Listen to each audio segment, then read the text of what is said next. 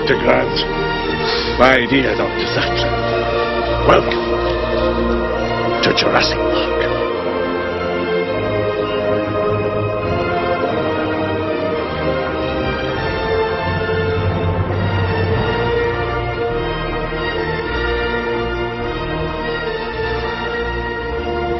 Hello, folks. This is Pastor Mike Hoggard, pastor of Bethel Church in Festus, Missouri, and head of prophetic research ministry with a very special edition of the Watchman video broadcast. This is this is the video that I've always wanted to do. I've wanted to do something like this for a long time here. Uh, this is a subject that I have always been fascinated in, and um, I from a child, one of the very first books that I ever checked out of the Festus Public School Library in first grade was a book on dinosaurs. And I loved it so much that I forgot to take it back to school on library day and ended up keeping the book of course, it got. I left it outside, and it rained on it and tore it up. My mom was mad at me because she had to pay like two dollars to the library to get this thing. That was back in the early '70s. Anyway, but I just absolutely love dinosaurs. I love looking at pictures of dinosaurs and reading books about dinosaurs.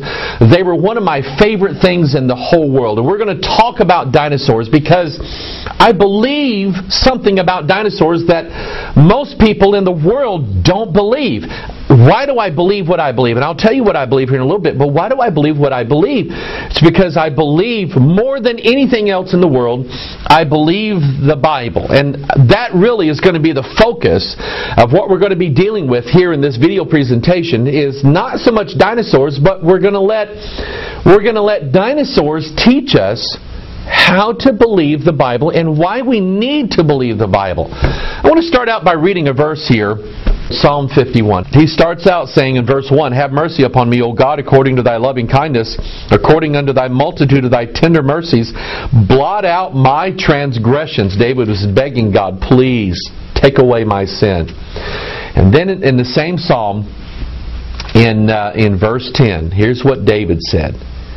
He said, Create in me a clean heart, O God, and renew a right spirit within me. David used an interesting word here, and I believe it's a word that was given to him by the Holy Ghost as David is writing this song, because David used the word create. One of the things that we believe about God is that God is the creator. Now, David is asking God, and just stop for a minute and, and be honest with yourself. David is asking God for something that um, no matter how hard we try, we can't do it ourselves. Um, he's asking God to give him a clean heart. Now, I mean, you know you and I know me. And the truth of it is, we don't have a very clean heart. If people were to really read our mind and understand exactly what we think in the course of a day, we wouldn't have any friends, we wouldn't have any wives or husbands left over, our children would leave us. In fact, we'd leave them because we'd be able to read their mind and say, You're filthy, there's something wrong with you. We have defiled hearts. And we can go through self help courses we can watch Tony Robbins on an infomercial. Uh, we can listen to a, a, new age guru. We can go into a trance. We can take uh, psychotic uh, drugs. But it doesn't change the fact that we have a bad heart. And so David is asking God, God, I, I need a new heart, and I want you to create one for me. Now, how hard is that? So here's the question. If we ask God, and this has to do with salvation, I want to be saved. I want to, I want to know that when I die, I go to heaven. And God has to create a clean heart in me. How hard would it be then if we believed a, a God can create in us a clean heart when we don't have one out of nothing? Can we also believe then that God created everything that is in exactly six days, and according to the timeline of the Bible, somewhere around 6,000 years ago. Not, not the billions of years that the evolutionary scientists say that it took to bring everything that is right now including us, the way we think, the way, uh, the way we walk and talk upright, the way we are, the way we see, everything about our bodies, which is an absolute miracle. How hard is it for us to believe that God could have created every God has so much power that he could have created everything in 6 days somewhere around 6000 years ago and create it exactly the way it is right now. How hard would it be for us to believe that? And that's what I want to help you with.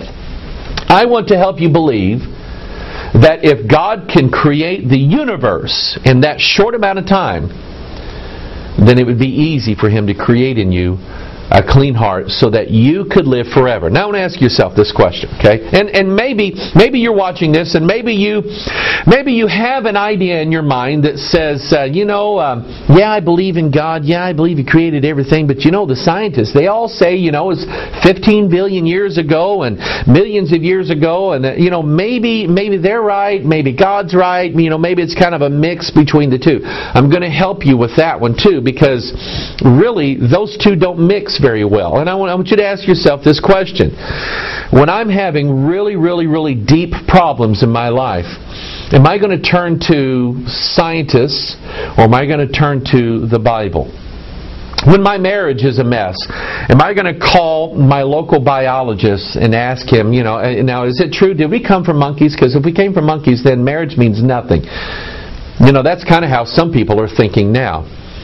And so, which is it? Will you accept what the scientists say who don't believe in God, or will you accept what the Bible says that will lead you into a greater faith and trust in God so that you can have eternal life?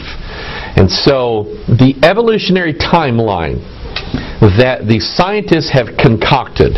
They give you this idea. Now we're going to we're going to talk about dinosaurs. They give you this idea that that dinosaurs evolved, oh, let's see here, 248 million years ago, and they roamed the earth. You had the Triassic period, the Jurassic period, the Cretaceous period, you know, 144 million years ago, and then somewhere around 65 million years ago, all the dinosaurs just disappear off the face of the earth. For some reason, we don't know why.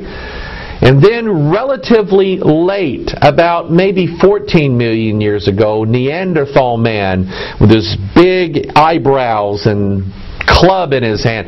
Then, then man came along, and so evolutionary science will tell you that man and dinosaur never walked together and lived together. That's what the evolutionists, the people who don't believe in God and therefore don't believe that God can do a miracle in their life, that's what they're going to say. But I think the Bible's going to tell us something different. And here again, I'm hoping to convey to you the idea that the Bible can be trusted. If we believe the Bible is a good enough book to save us and take us to if if we believe the Bible is a good enough book to predict our future, and that is to tell us whether or not we're going to heaven or hell, then can we not trust the Bible to be good enough to tell us accurately what happened in the past? And see this whole idea of God creating the universe in six days could, in fact, let me let me go here in my Bible to the beginning, Genesis. That word means beginning. Go to the very beginning chapter of the Bible, the very beginning verse of the Bible. In Genesis one one, it says, "In the beginning, God created the heaven and the earth." God created it. He made it. It belongs to Him. Um, did He do it in six days?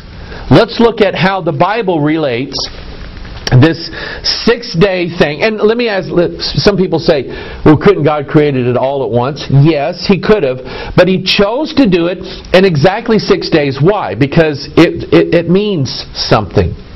It was to be a sign. Notice in Exodus chapter 31, verse 17, God said, It is a sign between